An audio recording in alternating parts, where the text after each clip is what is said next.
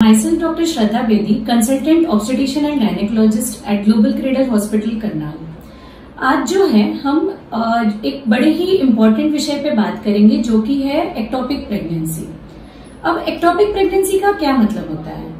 इसका मतलब ये है कि बच्चा जो है बच्चेदानी में ना रुक के बाहर के स्ट्रक्चर्स में जैसे कि ओवरीज ट्यूब या सर्विक्स में रुक जाए। ये एक डेंजरस सिचुएशन हो सकती है किसी भी प्रेग्नेंट लेडी के लिए।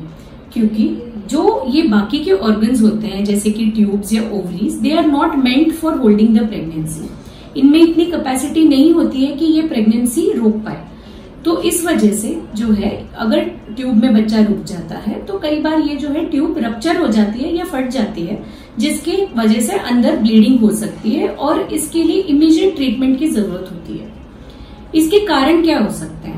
कई बार जो है, एक जो कॉमनली मोस्ट कॉमन आजकल जो रीजन देखा जाता है, वो है अनवांटेड 72 का इनटेक यानी कि आईपिल जो बिना किसी प्रैक्टिशनर के गाइडेंस के पेशेंट्स ले लेते हैं ओवर द काउंटर दूसरा रीजन हो सकता है, कई बार इन्फेक्शन होती है पेल्विक जो कि ट्रीट नहीं होती है और जिसकी वजह से ट्यूब्स में इन्फेक्शन के कारण प्रेगनेंसी जो है माइग्रेट नहीं कर पाती है. तीसरा रीजन हो सकता है, कोई हिस्ट्री ऑफ़ ट्यूबरकुलोसिस जो कि इंडिया में एक बहुत कॉमन रीजन है. इसके सिम्टम्स क्या हो सकते हैं कि ट्यूब में बच्चा रुका है? पेन हो सकता है। सबसे पहले तो प्रेगनेंसी टेस्ट पॉजिटिव होता है।